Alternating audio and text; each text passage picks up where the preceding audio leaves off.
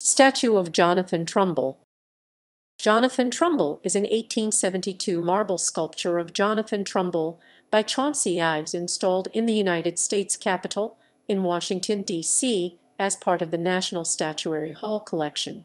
It is one of two statues donated by the state of Connecticut.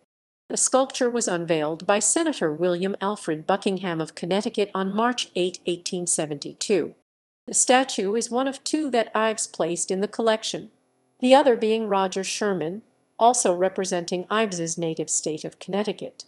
The sculptor and critic Lorado Taft, in his book The History of American Sculpture, is not kind to either Ives or his creations, writing that Connecticut, with misplaced loyalty to an aspiring son, gave him the commission for the two figures which represent the state in the National Hall of Statuary.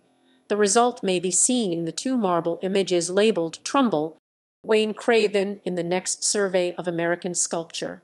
Sculpture in America adds that both statues were represented in colonial attire, and were accordingly turned into costume pieces by the sculptor, who was better at rendering ruffles and buttons than at modelling the male figure.